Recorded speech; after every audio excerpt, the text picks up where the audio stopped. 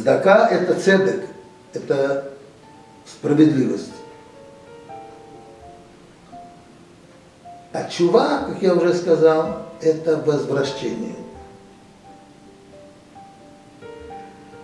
Не раскаивание и так далее, не покаяние, а возвращение. И эпогея этого мы достигаем в Йом-Кипур. А там уже мы достигаем таких вершин, что там уже не имеет большого значения, как мы подготовлены, как мы одеты, потому что мы уже успели пробудить во Всевышнем такое, что мы ему хорошо-хорошо напомнили, кто начал первый. Мы начали или он? Всевышний начал первый. Он нас сотворил. И он нас сотворил вот такими, какими мы были с самого начала. Потом постепенно вся культура вокруг нас, которую тоже затворил Всевышний, все искажения поведения людей, все это подействовало на нас так или иначе. Особенно остро мы должны это ощущать сегодня именно те выходцы из Советского Союза, и которые знают немножко историю, которая предшествовала этому. Мы прошли все гонения особенно в последнее время. Я уже не говорю там о гонениях, э, э, когда нас согнали с земли израильской. Мипней хатаэйну галину миарцейну, из-за наших грехов мы были изгнаны из обетованной земли. Я говорю о том, что мы пережили в царское время, несмотря на то, что царь, что царь русский считался намного лучше и намного правильнее, чем иноземные цари. Дам вам простой пример.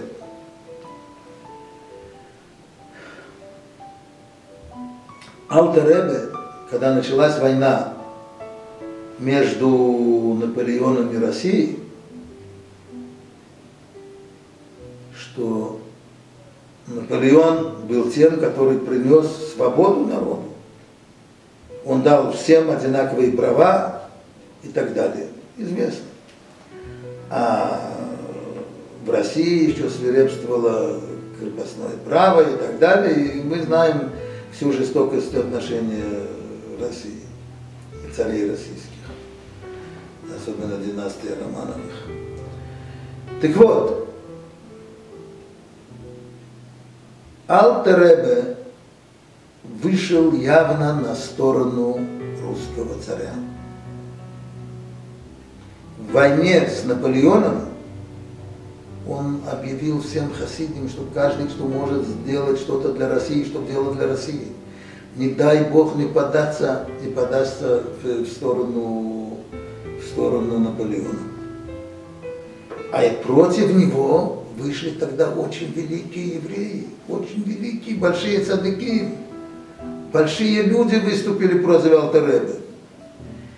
И даже известна история, что в Роша Шана должна, должен был этот конфликт решиться в чью пользу? И оба они почувствовали это и побежали в синагогу дуть в шофар. И он бы победил. Кто первый дошел, тот бы победил. Алтеребе забежал в микву, которая была ближе, чем синагога. Окунулся в микву и, будучи в ней, он дул в рог, в шофар. И когда тот добежал, второй, я не хочу упоминать его имя сейчас, потому что не потому, что он не святой. Он большой святой человек, но это не имеет значения сейчас. Он пришел дуть, трубить в шофар, ой, он говорит, Дерлитвак вот мих. Этот Лютвак, его называли Лютвак, потому что он был из Витебской, из литовской стороны. Они все были Польши, из Украины, они говорили на другой идыш немножко. Он меня опередил. И все. И, и с тех пор Алтеребе известно, как Наполеон искал Алтеребе, и их сидим скрывали, известно как большие хасидим, Алтеребе, большие хасиды, которые умели владеть своими, своими чувствами, ходили как простые евреи, которые побираются по лагерю французов и запоминали то, что надо, записывали, так не записывали, и потом доносили русскому царству, русским войскам. И поэтому Алтаребе, как только он начал убегать от Наполеона, от, когда Наполеон наступал, к нему казачество представило большую-большую охрану, и его все время сопровождали. Алтеребе все время писал письма, молитесь евреи за победу, за победу нашего царя. Короче, когда все это прошло, это кончилось, в, этой, в этом побеге Алтеребе потерял здоровье много, и в конце он скончался еще э, до, конца, до конца победы. Он скончался, но обещал, что будет победа стопроцентная. Не может быть, чтобы небо позволило, он говорил, чтобы вот такая чума дошла до нас. И тут спрашивается вопрос, почему это произошло?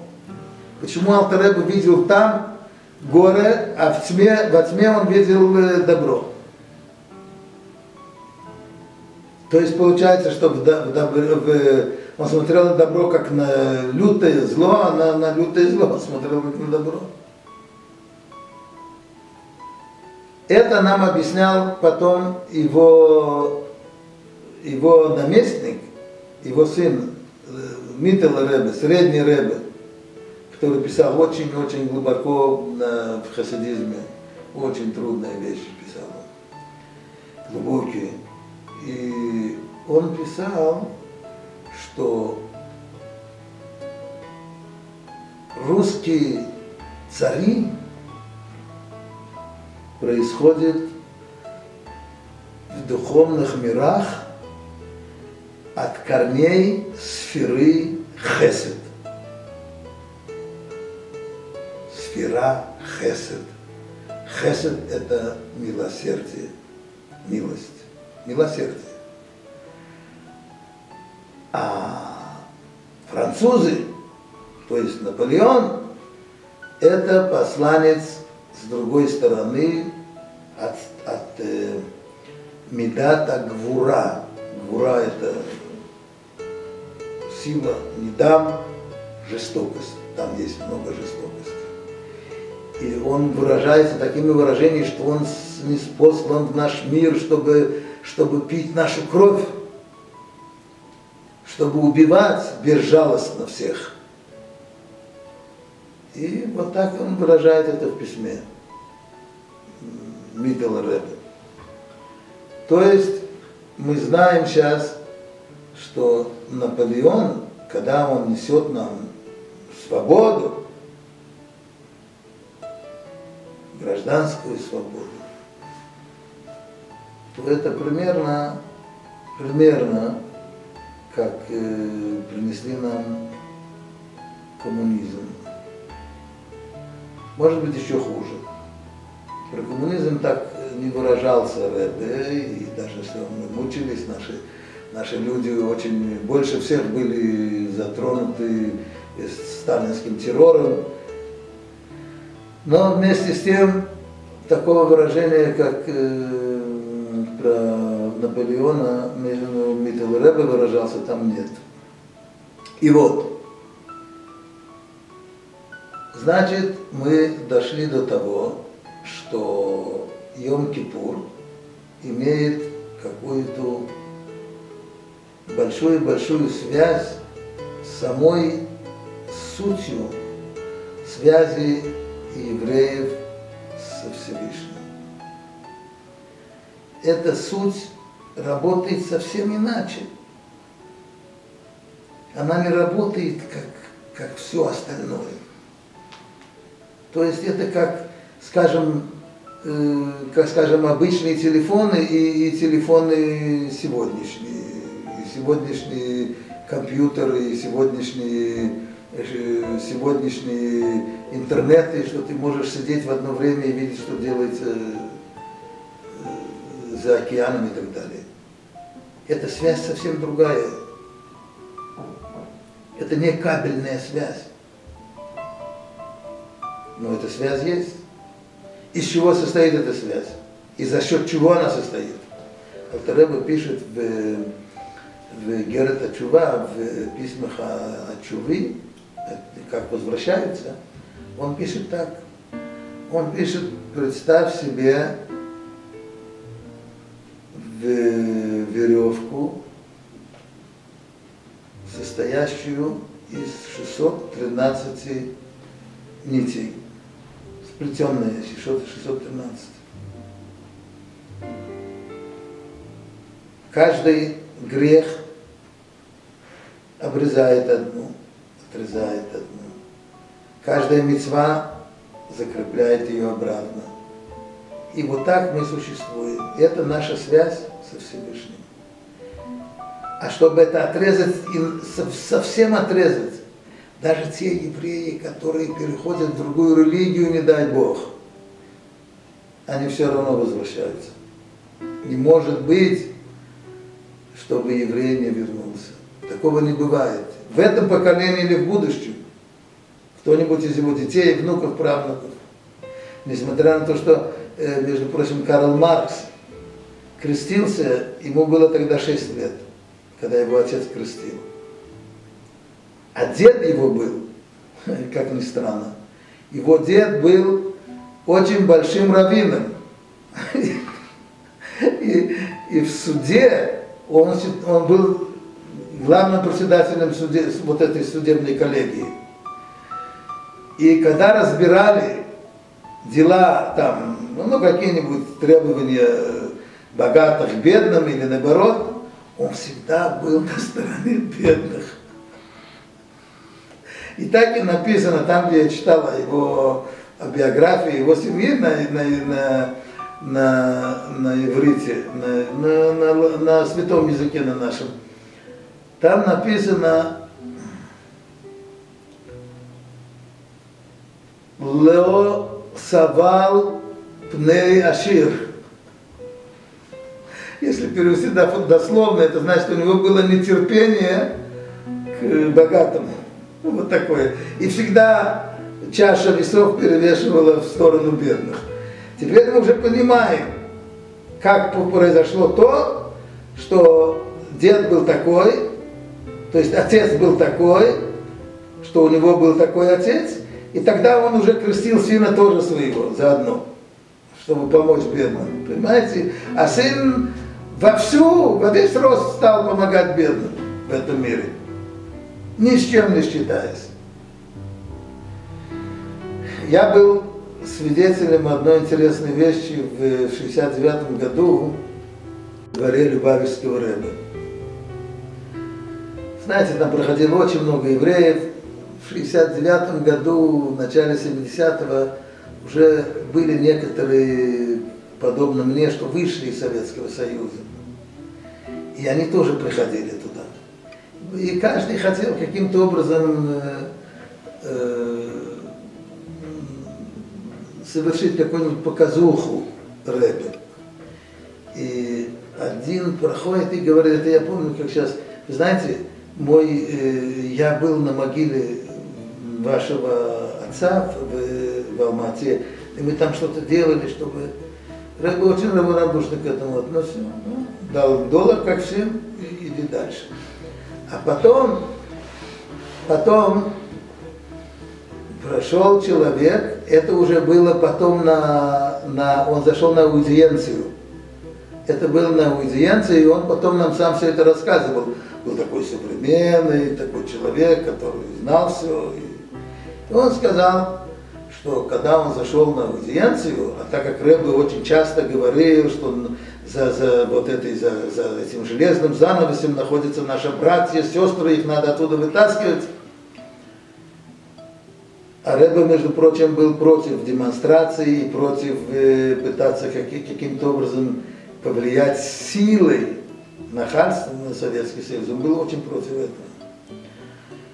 Он это выражался открыто. Были, кто говорил, демонстрации надо делать, надо делать всякие там э, всякие мероприятия против Советского Союза. Рэбе был против этого. Он говорил, надо найти язык с ними. Это, это орешек, который надо уметь расколоть. Его не расколешь просто так взять э, плоскогубцами.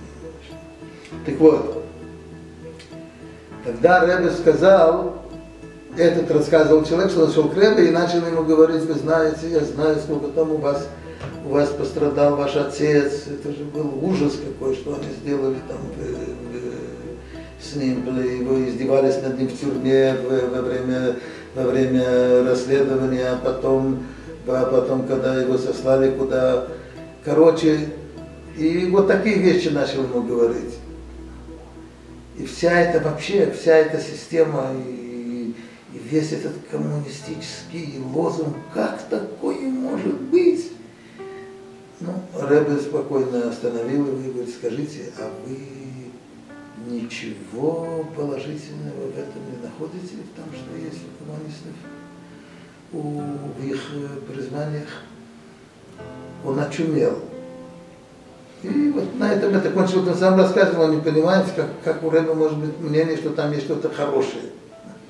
То, что они взяли, переписали нашу Тору, наши, можно сказать, 10 заповедей, они, кроме, кроме того, что связано с Богом, они переняли человек человеку друг, товарищ, брат. Помогай ближнему. Это же все моральный кодекс строителя коммунизма. Окей, мы идем дальше. Итак, наш, наша цель добиться, достигнуть того, чтобы мы в конце концов осознали, что такое Йом-Кипур.